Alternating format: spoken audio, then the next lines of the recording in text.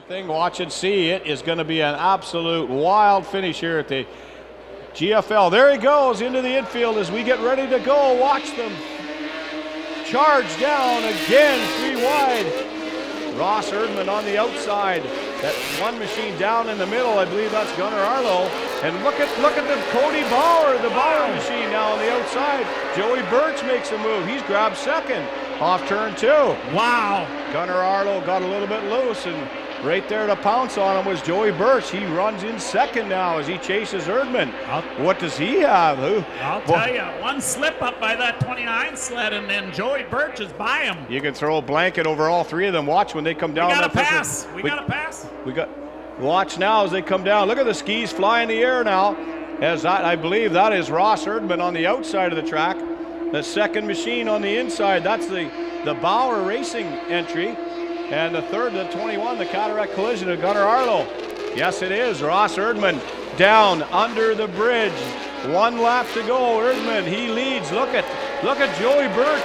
Close the door. He's coming. The white flag is He's coming. Joey Burch on the back end as he tries. He closes more. He's there. Joey Burch down on the inside. Erdman with what's going to happen here is those two sleds. He's I, there. He's I, think, I think Joey Burch made the pass down there. He did. He'll push up the track.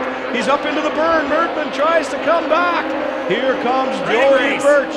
Look at the air time of Joey Burch. He just absolutely won. Now contact with Erdman. Again contact. Contact down the straightaway. Everybody trying to see this side by side I think that night. Now, big contact here.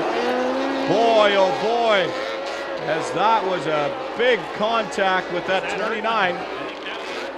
Yes, it was, as those two sleds absolutely traded paint down there, and Ross Erdman ended up into the hay bales. He's up.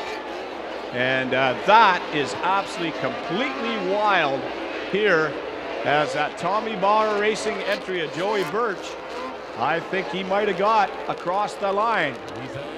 There's no no time difference shown. Is it a dead heat? I don't know. We'll wait and see. We'll sort it out here. But that is absolutely amazing. I want to see a review of that one. That is amazing on FLO Racing. What a finish we've seen here as Joey Burch, he got by, grabbed second in that second last lap and he drove it on. He went down on the inside, and they absolutely traded paint all the way down that front straightaway. I have never, ever seen anything like that at the I-500 here. You look here on the on the uh, on the timing board. There's a zero difference in the uh, was it a dead heat? Timing monitor says time. Ross Erdman, good to see that he got up and got that fired up, that 29. Boy, he ran so well. Have you ever, Spanky, in all your racing, have you ever seen this? Never have I seen anything like that. Now, I'm not sure what's going on to give a checkered flag to. Here comes the machine, and that, that is Joey Burch on board that number 19. We talked about, we thought the handling went away, and that, look at this now. Whoa, we got a man down. They're going to pull it up, and they're going to pull it up at the party shack of the Bauer Racing.